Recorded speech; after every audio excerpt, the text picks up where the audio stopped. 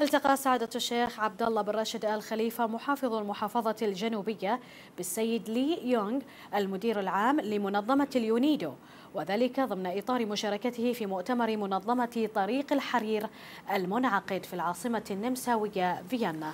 وقد بحث محافظ المحافظة الجنوبية مع مدير عام المنظمة سبل التعاون المشترك في مجال تعزيز دور المحافظة الجنوبية للاستفادة من الخطط الاستراتيجية الشاملة لمنظمة اليونيدو وترجمتها إلى برامج عمل على أرض الواقع.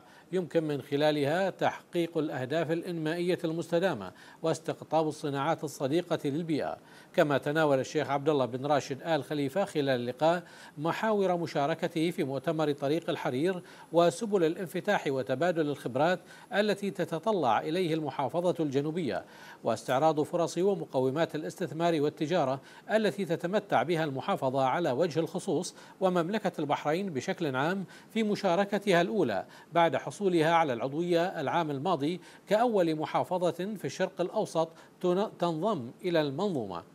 من جانبه عبر السيد لي يونغ عن تعاونه وسعادته بهذه المشاركة معبرا عن اهتمامه واستعداد المنظمة في تقديم ما تتطلع إليه المحافظة الجنوبية لتحقيق أهدافها الرامية إلى إقامة علاقات تعزز نمو الاقتصاد العالمي من خلال إقامة شبكات تعاون كبيرة ومتماسكة للتجارة للتجارة الإقليمية والدولية.